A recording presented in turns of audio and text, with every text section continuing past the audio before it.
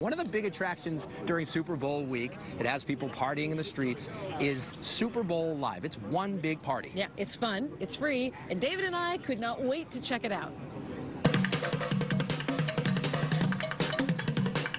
The rest of the year, this is Centennial Olympic Park. Right now, it is Super Bowl Live, and New Englanders can't get enough. We've been dying to get here. And talk about a welcome.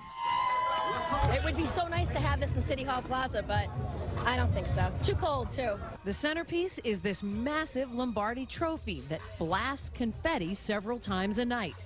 And not missing a detail, the confetti is shaped like the Lombardi trophy. Just like we've seen all week long in this sea of fans, pretty easy to spot the Patriots fans. You seem excited for the Super Bowl. I am excited for the Super Bowl. We gonna win this Super Bowl.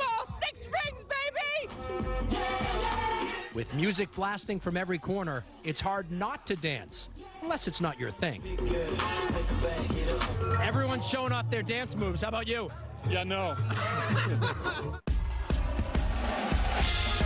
And anyone, I mean anyone, can create a victorious stadium entrance.